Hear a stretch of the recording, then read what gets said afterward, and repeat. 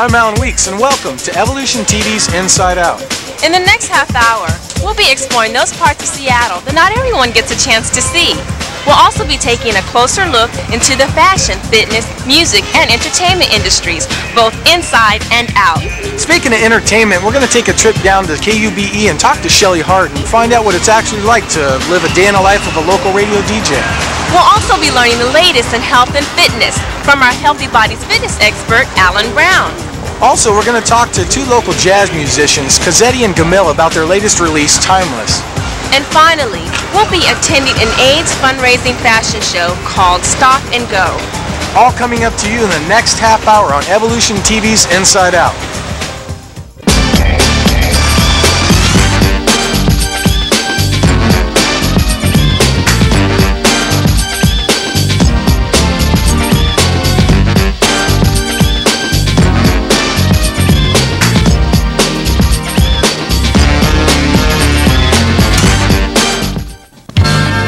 Hey you guys, Alan Weeks, Evolution Inside Out. I got a question for you. How many times you been stuck in traffic during your lunch break and you got a stomach ache because you haven't ate? I got the solution. No, it's not Di-Gel. Put your hand on the dial, spin it all the way over to the left around 93.3 and you can get some old school lunch from Shelly Hart. Make you happy to put that bump in your butt. We all know who Shelly Hart is. We've heard her voice. All of us have. If you don't know who Shelly Hart is, you better wake up because you're dead. Everybody knows who Shelly Hart is, but they actually don't know what she looks like. Let's put a face behind the voice. Let's get to the heart of things, Evolution TV. Let's go check it out. Keep any and your old school lunch fresh in the mix with Shelly Hart. What you want to hear, honey? So I would be the bump in your butt. That's me. Yes! Let's see the face of Shelly Hart.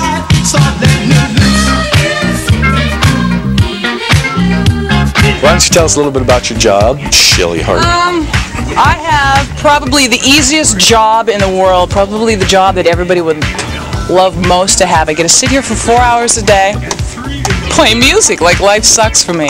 Not at all. KUBE 93, today's hit music along with Shelly Hart. Come on. We hot! When does your day start? Let me just. My day starts at about 8.30. I get here and I program, since I'm music director, I come in in the morning and I um, schedule, do a lot of scheduling of the music. Like I said, you know, we take all the requests. You play every one of those requests? I wish that I could. Pop in here at about 9.55, set up for the old school lunch, which is what all this is here. How did, how did the old school lunch come about? Actually, it started with, um, when I first started doing middays for KUBE about three years ago, it started with three songs at the noontime hour. It was called the Office of the Day Triple Play. Hold on. This is called a segue.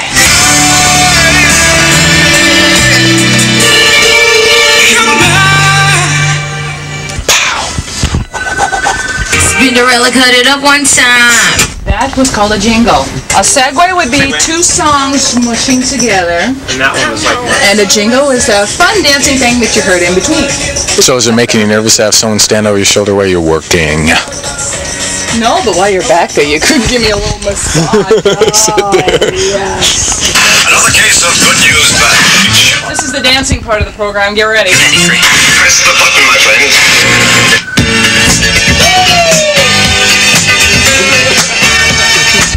What day? Oh, I'm supposed I am the best stool dancer in Seattle. Woo! What is this? These little creepy things here are uh, cart machines. They play things that look like an 8-track, but they're actually 4-track commercials. And back over here in this corner, up here, is a computer that we call Vox Pro, which actually records all of our phone calls and interviews. This is the actual conversation. I'm on the bottom, she's on top. Make sure that you sign Shelly's on the bottom, and she's on the top. On the Vox Pro, you guys, get your minds out of the gutter. That's bad. Anyhow, Hey, I love being naughty. That's me. Pick me, I'm there. And I can make you sound any way I like you to sound. Whistle me a little tune.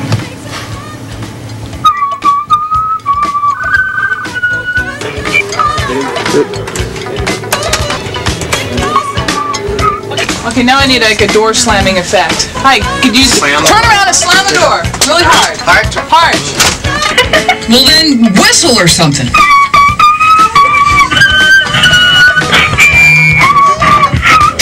Okay, I'm back. Did you entertain people? Um, I think so, but I'm not sure. Information. He's You my go to Mr. star. Riggs. Huh? Okay. Music. Go. Oh, now how was it? It was beautiful. I'm a radio DJ. That I will never wash this finger. I'm not even going to ask where it's been. What does Shelly Hart do outside of KUBE? I still take my paycheck and go CD shopping. Do you really? Absolutely. I'm off shopping for imports, disco compilations, anything I can get my hands on. If it's out there, I don't have it, there's a big problem. Unless that thing is battery operated. Oh, yes, mine's bigger. Shelly Hart. Heart. I have a heart on. This is this is the state of the art Shelly Hart CD cleaner. If you don't clean the CDs, they skip. Now you know that I am not short. I'm 5'10", 5'11 and a half on a good hair day. I'm not a blonde. I'm a natural brunette. I'm an Aries. I am out of control. I love the go-go dance. Okay, I listen to country music.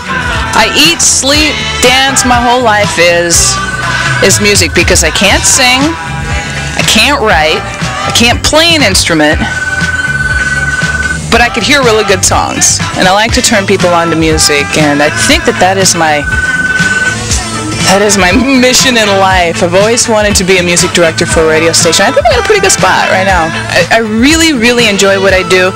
And people ask me all the time, so where is Shelly Hart of the future? What is she going to be doing? I'll probably still be sitting right here, still buying CDs, and trying to turn people onto something new and creating memories with music. I really, really, really enjoy that. Shelly. Shelly Hart, definitely a nut. Definitely Mike on the people. Why don't you guys check out KUBE 93 FM? Speaking of nuts, let's head over to Jeff Kernigan at Powerhouse Gym in SeaTac so we can learn the latest in health and fitness. Health and fitness. You see healthy. Look at it. Yeah. Not bad. Check this out. What's up? Here we are at Powerhouse. Check it out. What's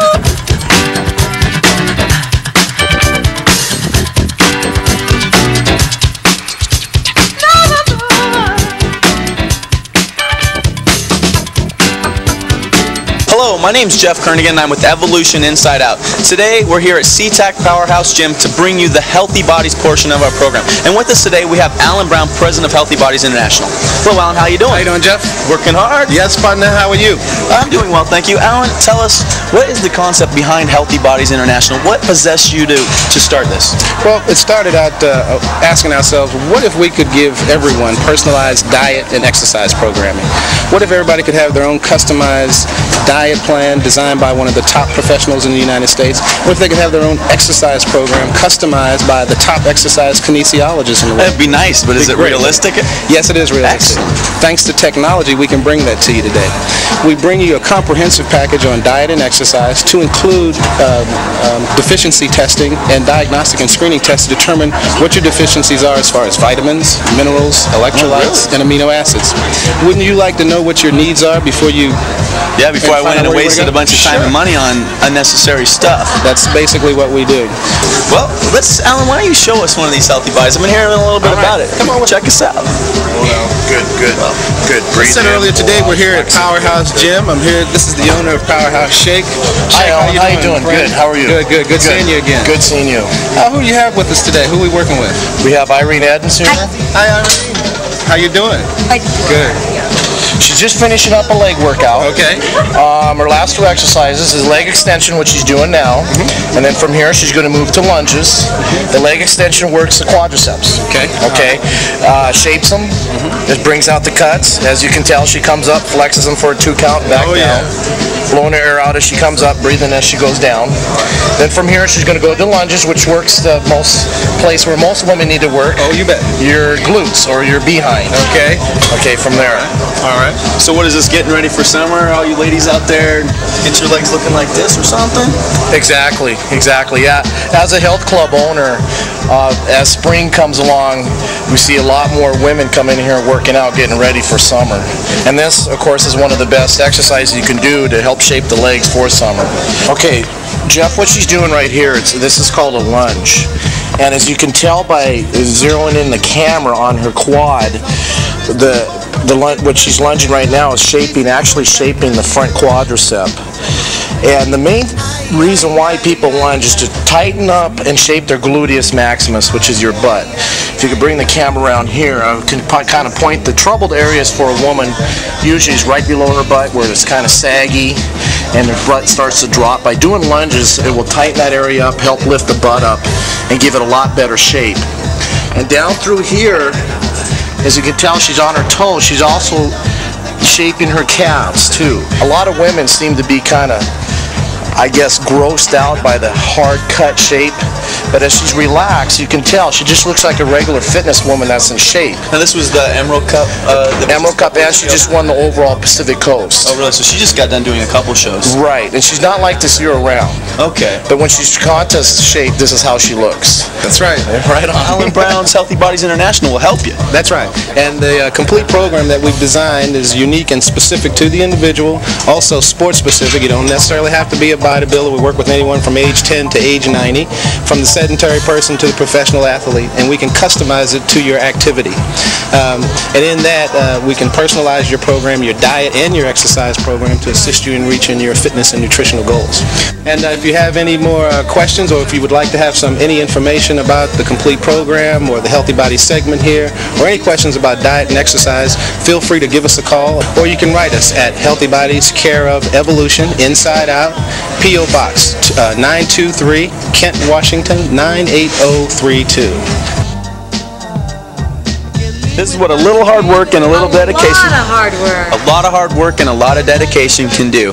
As you know, to feel good, you need to look good. Summer's coming. Lose the cheese. Get ready to please. See you in the sun.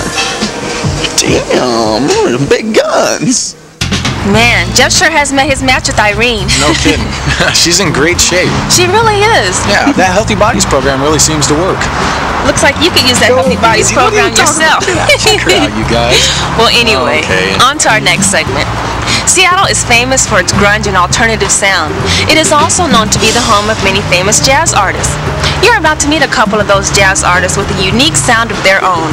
As well as a unique approach to the music industry itself.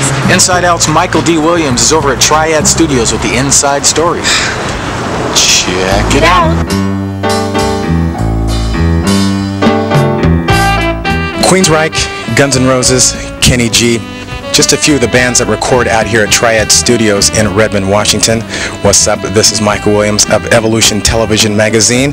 And what we're doing out here tonight, interviewing a local jazz duo, Tim Gemmill and Robert Cozzetti, as they have a new release out entitled Timeless, which is out on Rocka Records. And uh, we'll be talking about the fellas, what, what they're up to these days, what they've been up to in the past. And uh, we'll be sitting down in the studio and also seeing them do some live stuff as well. So let's go check them out. Evolution Magazine. Peace.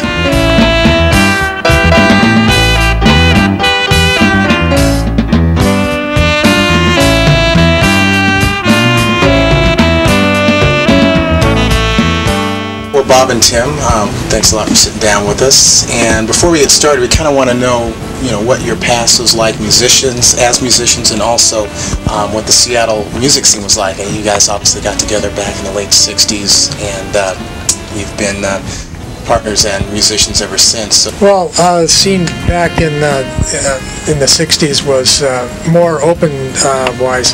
You could go into a club more so and, and play at night, you know, late at, late in the evening. And uh, like Cannonball Adderley would come to a club, and after he did a gig in Seattle at the oh geez uh, Charlie Puzo's place, and it was just really cool. You could jam with some of the artists, and it was very very neat. That's possibly you know that's basically where I I learned how to play my horn.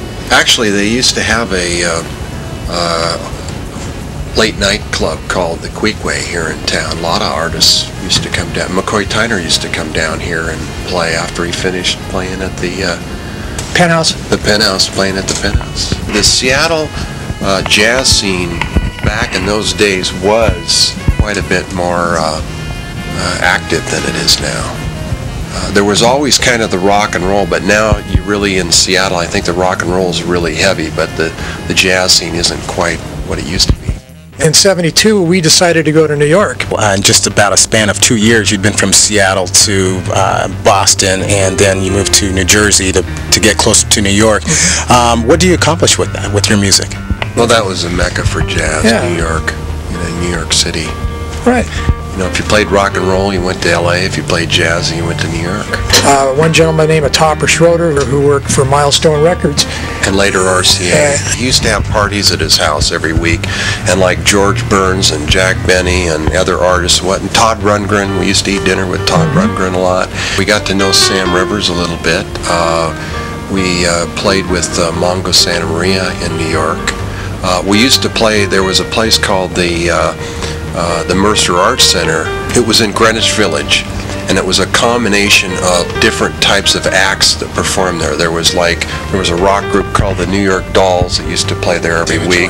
We played there for a year, every week. Yeah, New York, I mean, it's still uh, the place, you know, for jazz. It's, it's really happening there. So let's uh, fast forward up to modern day as we're sitting here right now. What is uh, Cozzetti and Gemmill or Gemmill and Cozzetti doing these days? And uh, musically speaking and projects that you have going forward? Well, again, we started a new company called Rocka Records. Tim did all the graphics on this, front and back. Excellent. So this is like a full service type of production line going on here. Gotcha. It is. Uh, the, the art helps me to get ideas for the music, and the music helps me to get ideas for the art. Do you guys write as a partnership? Do you write 50-50? Is one a little more aggressive or dominating than the other? I think that our writing is quite a bit different actually, and we write in different ways, but when Bob writes something, he'll bring it to me, and then I'll either put the piano to it or do the saxophone, vice versa. You know, I'll, I'll write something and go to him and say, you know, here's what... I usually write the things for him to play the, the horn on. Our combination of, of trumpet and tenor are the, the tones that we have match really good. I wrote uh, for the rock artist, which is synthesized with the Moog synthesizer. And that's on the, that's on the CD. Uh, uh, that, that was it again in a collaboration. I, I, I wrote the line. Tim came in with the, with the line for his tenor, and then, then we rewrote other parts for the bass player and the drummer. I was listening, actually, I was listening to one song on here. I think it's Cyclops, one that's really bass heavy. It sounds like it's almost like, almost, I don't want to say it like a hip hop or dance track at the beginning of it. Is this the correct one? I got a friend who wants. I wants. was really impressed with that. Yeah, I got a friend who wants to take that and speed it up. Originally, it was supposed to be speeded up for you to dance. Now, is this Captain Pike here from the uh, Glass Menagerie uh, episode of Star Trek? That's correct. That's correct. Actually, actually, the reason the reason for Captain Pike is it was Midge Pike, our bass player in New York, who we did learn a lot from. His That's name it. was Midge Pike. We call him Captain Pike. Midge Pike, who played with Miles Davis, very well-known bass player around around uh, New York City. Really cool guy, and he's someone who I really uh, fell into, and he taught me a lot about theory, and he taught Tim a lot about theory. He was really an inspirational type of person that brought us along in the music business. We're not going to go away. I mean, we're very we work real slow, but we're very persistent in what we do. We have our good days, we have our bad days, but we always kind of end up the same way, which was we believe in our music and we believe in ourselves, and we're going to do what we're trying to do. And eventually, if we can help other artists by doing distribution for them or doing graphics for their CD cover, or I am building a studio in my house and I suppose I could record them eventually, uh, that might be nice. But we do kind of know what we're going to do over a period of time. I think that helps.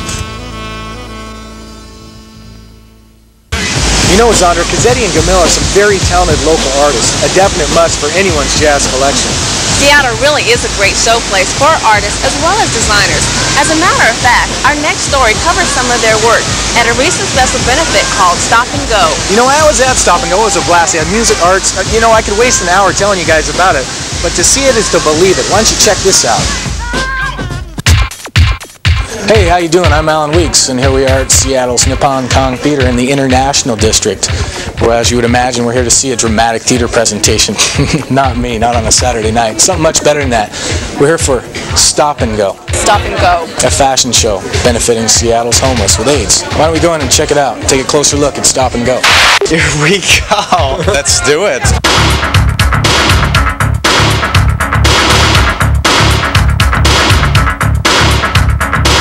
I'm backstage at the Stop and Go Fashion Show with the people that make this thing happen every year. Anthony Tippins and Rebecca Luke of Tippins Luke Productions. How you guys doing? Okay. and what we're all about is not only making a difference in our community by doing Stop and Go and, and making it benefit AIDS Housing of Washington or making it benefit Homeless Challenge, but to increase awareness about fashion and art. I, I think that's kind of what we're all about. This is a fashion show, but an auction also. You're gonna hear a guy going, hey, money, money, money, money, money, money, money, money. 80, this bid is 70, would you like to go 80? 150 bid 2, this bid is 150, 150 now bid 2, 150 now bid 2. 150 now bid 2, we have 150. 150 once, 150 twice, 150, fair warning. Sold 150, what a wonderful buy. Order number 229. Right here at the Stop and Go Fashion Show. a friend of mine bought me a ticket and I came to pick up some pictures for my new apartment. They got food here too. It's great. Look. to contribute to something that is a really important issue on two hands for AIDS and for homelessness. And I thought it was a great thing to give my money to, so here I am. There you go. There you go. And I describe myself as doing experimental couture because I like to play and experiment with shaping and manipulating fabric and seeing what it will do and do something other people haven't done.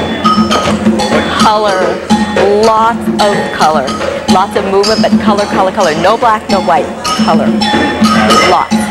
At Marketplace Salon, what we're trying to, to show is to create art on hair. The, the work that we're showing from the salon tonight is not necessarily work that you're going to have on the streets, but work that is art. They've been working in the RV since about uh, 5 o'clock. Come on in and see what the makeup can we? artists are doing. Can we do that? bet. Step in there. Wow, it's crowded in here. Hi, Mom. There we go. Wow! Incoming. Incoming. this is a dangerous place to be. And the girl with the gun is. Marcy. It's kind of crazy. That's great. How's my? I basically today did about 15 wigs and then kind of choreographed wigs to models, to faces, to clothes, kind of put everything together for everyone. So we're doing white face, white hair on both him and his partner, and then we're going to do some elaborate kind of black eyebrows, red lips. And we make stuff out of hemp. Buy hemp, support hemp. Legalize hemp. Yes. Right now, all the fabrics um, cannot be made here in the United States, and everything is imported either from Thailand. We get ours from Hungary. Um, it's also from India. It's not what you smoke. It's a different. It's a It's a different, different deal. plant. Yeah, exactly. And so people need to kind of get over the little box of. Uh, of you know that oh it's smoking. Kind of for the the the Carhartt of hemp the uh, you know the tough the rugged um, thing you'll have forever. My designs are always inspired by a lot of um, costuming, so theater, movies, things like that, and masks or hooded cloaks, um, some makeup masks, and um, so all kind of mysterious and kind of cloak and dagger type looking, but um, still all very exotic and kind of fantasy-like. Happy Mitchell the Third Dancers. This is the first time in a long time that I've really had time to like rehearse and choreograph, so I feel really good about the work. And I think um, any, just knowing all the friends, I'm looking at a whole generation of my friends who have died, because I'm from the 70s generation, right? And so um, this is basically an homage to all my friends who have died, all my teachers, and, you know, that kind of thing.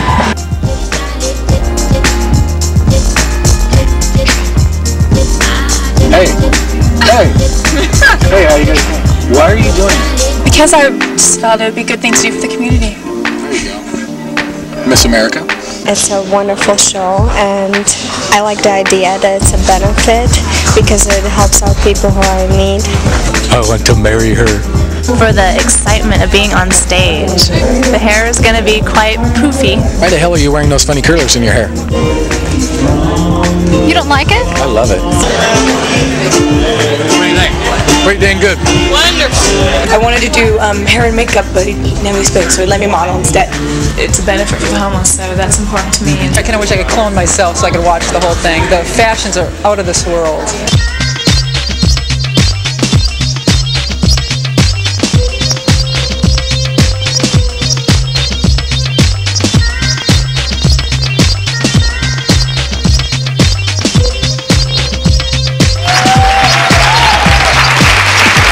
A lot of fun fun to do this? Well, it was a good cause. It was a lot of fun, and I think a lot of the people in the audience had fun too. So oh, we had fun doing it. It was crazy, but we had fun doing it. And it was wonderful. Superb, outstanding, and just I must say.